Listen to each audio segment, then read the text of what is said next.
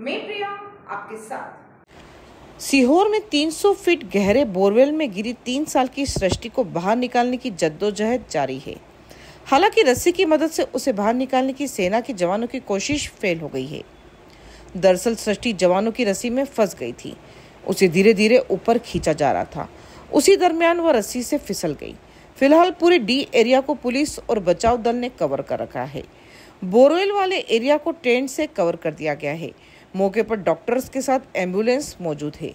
बता दें कि बच्ची मुंगावली में मंगलवार दोपहर करीब एक बजे बोर में गिरकर 29 फीट नीचे फंस गई थी। रेस्क्यू ऑपरेशन के दौरान कंपन से वो बोरवेल में नीचे धस रही है। बच्ची अब करीब 100 फीट नीचे चली गई है। मंगलवार दोपहर दो बजे से एनडीआरएफ एसडीआरएफ और पुलिस की टीम रेस्क्यू ऑपरेशन कर रही है। उसे निकालने के लिए 10 से ज़्यादा जेसीबी और पॉकलेन मशीनों की मदद से पाँच फीट दूरी पर समानांतर गड्ढा खोदा जा रहा है। टीम बुधवार सुबह साढ़े ग्यारह बजे तक बोर के पैरेलल 32 फीट की खुदाई कर चुकी है। बुधवार को आर्मी ने भी मोर्चा संभाल लिया।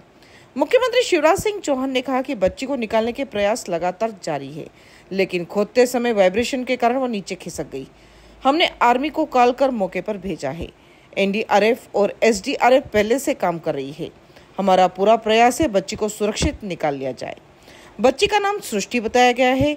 उसके पिता का नाम राहुल कुशवाहा है। मौके पर एसपी मयंक अवस्थी भी मौजूद हैं। बच्ची तक ऑक्सीजन पहुंचाई जा रही है। उसके मूवमेंट पर नज़र रखने के लिए बोरवेल के अंदर इंस्पेक्शन कैमरा भी डाला गया है। एंबुलेंस और मेडिकल टीम भी मौके पर तैनात है। बने रहिए राजनामा टीवी के साथ। धन्यवाद।